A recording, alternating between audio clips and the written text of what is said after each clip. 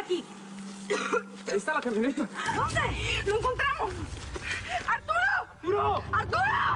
¡Arturo, ay! ¡No toque nada! ¡Espérese! ¡Sofía! ¡Sofía! ¡Se fue el celular! ¡Sofía, espérate! No, no, no, no, no, no, no, no, hagas. Ahí está la policía. Cabrera, encontramos la, cam la camioneta de Arturo, pero no hay rastro de él. Está como a dos horas del rancho, pero al norte.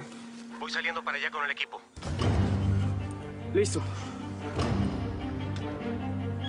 ¿Dónde estás, Arturo?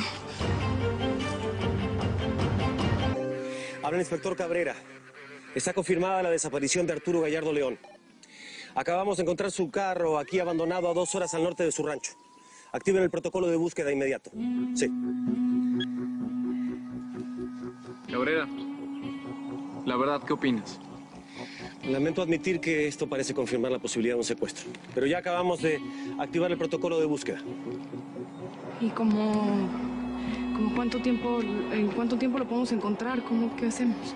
Discúlpame, pero esto es impredecible. Mi hermano está vivo, ¿verdad? Dímelo. En este momento no lo sé.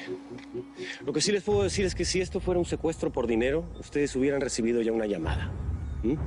Esto parece ser una venganza personal. Isadora.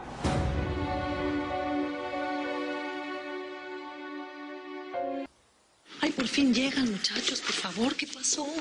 Ay, ¿me pueden contar, por favor, qué pasó con Arturo? No, bueno, Soledad, pues sí, llegamos al lugar. Llegamos al lugar de mi, de mi sueño, pero la camioneta estaba vacía. No había rastro de Arturo Soler. Ay, no me digan eso, entonces. ¿Se lo llevaron para hacerle daño? Ay, Sofía. Soledad, antes que nada, y lo primero es mantener la calma. Sí, sí.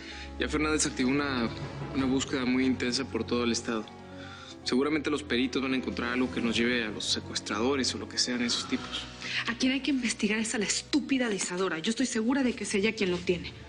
Me da terror que le haga daño. Esa tipa está loca. Sofi, tienes que calmarte. Aunque sea verdad, no tenemos pruebas para detenerla. Ya sabes cómo es la ley. Estoy segura que Fernández la va a hacer confesar en el interrogatorio. Ahora solo nos queda esperar.